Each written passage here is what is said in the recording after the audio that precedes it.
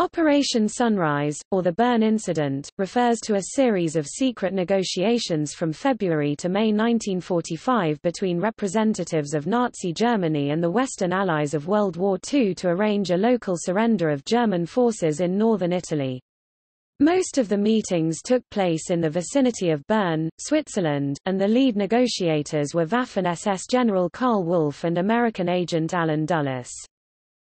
The meetings provoked Soviet suspicion that the Americans were seeking to sign a separate peace with the Germans and led to heated correspondence between Joseph Stalin and Franklin Roosevelt. An early episode of the emerging Cold War, Roosevelt denied that there were any negotiations for surrender taking place in Switzerland. Dulles, however, appears to have made a verbal agreement to protect SS General Wolff from prosecution at the Nuremberg trials as they worked out details of surrender. Although Switzerland was neutral during World War II, the Swiss intelligence officer Max Weibel and the school director Max Husmann arranged for the meetings.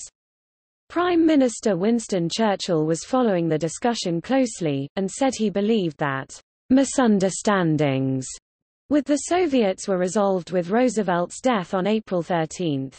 Churchill referred to the negotiations as Operation Crossword, apparently because he found them puzzling.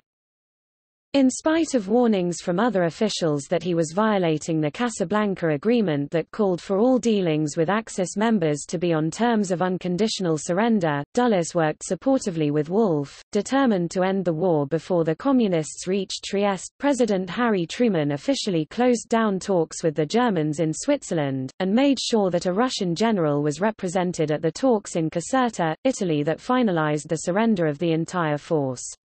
Nonetheless, fallout from the incident seems to have discouraged full Soviet participation in the founding United Nations conference later that month.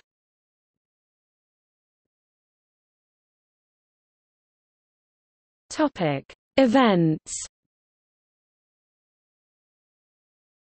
On 23 February 1945, Dulles accepted Wolff's offer to explore terms of a local surrender.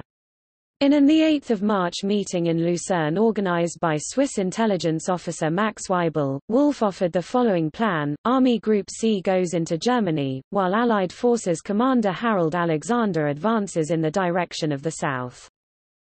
On 12 March the U.S. ambassador in the USSR, W. Averell Harriman, notified Vyacheslav Molotov of the possibility of Wolff's arrival in Lugano to conduct negotiations on the German army's surrender in Italy.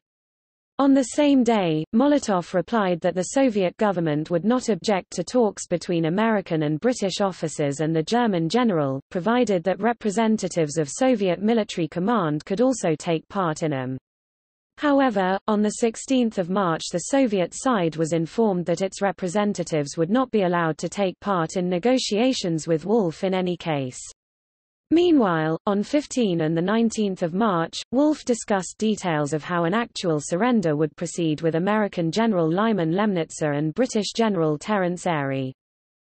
On the 22nd of March Molotov, in his letter to the American ambassador, wrote that for two weeks, in Bern, behind the back of the Soviet Union, negotiations between representatives of the German military command on one side and representatives of American and British command on the other side are conducted.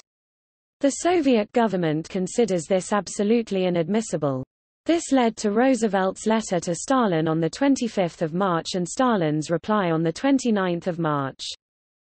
Wolff and his forces were being considered to help implement Operation Unthinkable, a secret plan to invade the Soviet Union which Winston Churchill advocated during this period. Wolff was later proven to be complicit in the murder of 300,000 Jews.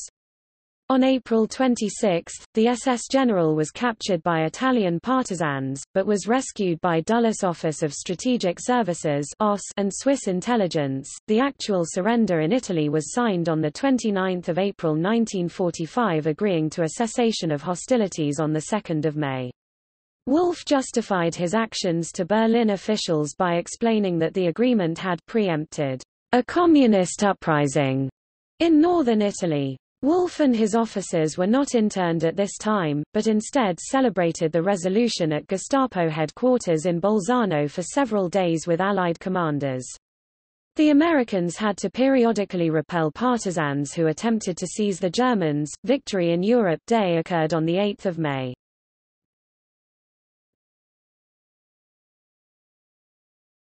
Topic. Aftermath Operation Sunrise was depicted in the Soviet TV series 17 Moments of Spring, where it was called Operation Sunrise Crossword.